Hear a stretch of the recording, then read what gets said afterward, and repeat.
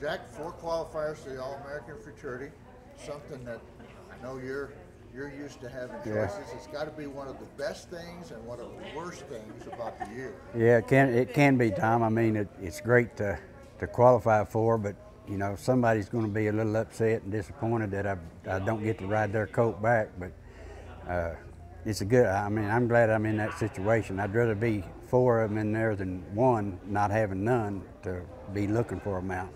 Yeah, because situations like occurred in the Rainbow where Right. you actually did not have a qualifier and wound up on the winner, they're rare? That's that's hard to come by. It really is. I mean, you have to be have to be pretty lucky to, you know, take somebody else's seconds and, and like you said, end up winning the rainbow and uh, feature Mr. Bojangles. But and and maybe one of my horses that I qualified, you know, maybe one of the other riders, you know, which it still it pays good. I you know I get half of what they make. So if I don't win, it, I hope one of those do. Relative to some other times you've had to do this, how tough was this decision? It it really it wasn't all that tough, Tom. I mean, I mean, after after Ochoa run his race in the trials, uh, I mean, before we got back to the winner circle, I was pretty sure that that'd probably be the one I was going to ride back. I mean, he really run a, a, a good race. He run pretty easy. I didn't really have to push him all that hard. Uh, he was fortunate. He run it a good time of the day. You know, he had a little tailwind, and, and the racetrack was as good as it's been probably all year when he run that uh, in his trial. Uh, and that, that was one reason I, I, I, I pretty well had it figured that he was going to run a good race, but I really didn't have to pressure him all that hard to get him to run like he did. He come back and he come back super good. He's he's probably better now than he was going into the trials. Actually, the colt has really really stepped up like you like for one to do. I mean, most of the time they, they don't really improve, or sometimes they back up a little bit from a trial race. But this colt has really seemed like he stepped up and, and getting better every time. Right now, I've took him three times since the trials, and, and he's gotten better every time I've taken him. Be kind of nice to win one for a guy like old Johnny Jones, huh? Johnny Jones and I have been friends a long time, and, and he needs it. I mean, uh, you know, Johnny's getting older, and and uh, yeah, I mean, it would be great for me in, in my career, but it would really, I, I really like for Johnny to win the race. I really would. Well, let's take a look at the some of them that you qualified and didn't ride back, and kind of tell me what the relative strengths are. Uh.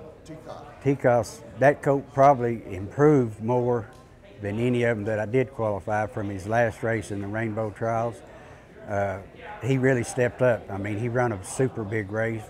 You know, he, I mean, I knew he was running fast too. I mean, he ran a, a 15. Uh, he ran the race after uh, uh, the other coat, but I mean, that horse really stepped up. I mean, he, he really improved like he liked for one to do. I took him back to the track, you know, four or five days ago, and he really come back good. I mean, that, that horse has got a legi- legitimate shot to win the win the All American. He really does. And then uh, you qualified, of course, another one for Sleepy. Yeah, uh, Mr. E's one, two, three. That colt is, he's a good colt. He's very honest. You know, I don't think he's quite fast enough probably to win the All American, but but anything can happen. You know, if some horses get in trouble, get a little, little bumping and knocking around, this colt's quick enough away from the gates that, that he could get up there and get the big end of it if everything goes right for him. And Denver Pass. Denver Pass is a colt that, that's getting better every race. I mean, he really runs good on the end. Uh, he can run a quarter of a mile. He, he hasn't been quite quick enough away from the gates. That was that was one of the reasons I didn't ride him back because he's just not quick-footed enough to stay close the first 50 to 75 yards. But if that horse steps up a little bit and gets a good clean break and gets away on his toes, he could be right there because he can run a quarter of a mile. So what does Ochoa have to do better than he's done it before in order to win? he just just step away with him. You know, Uh, that's all he's got to do is, is is get him a good clean break the first four or five jumps, and uh, he can finish. I mean, he can get the quarter of a mile, and and, and that that's all my main problem is.